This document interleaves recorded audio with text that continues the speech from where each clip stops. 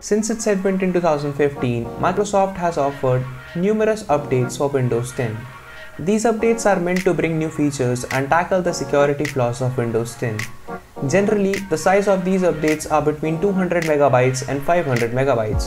However, the May 2020 update was over 2 gigabytes in size. Downloading these big updates can severely affect your bandwidth.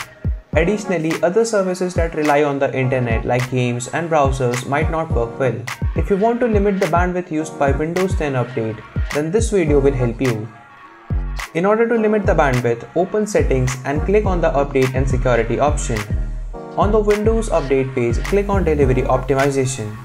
Now that you are in delivery optimization settings page, click on the advanced options.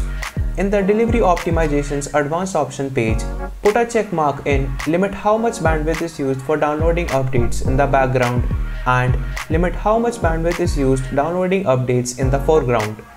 The first option limits the bandwidth usage for Windows Update. The second option is for foreground activities such as Microsoft Store.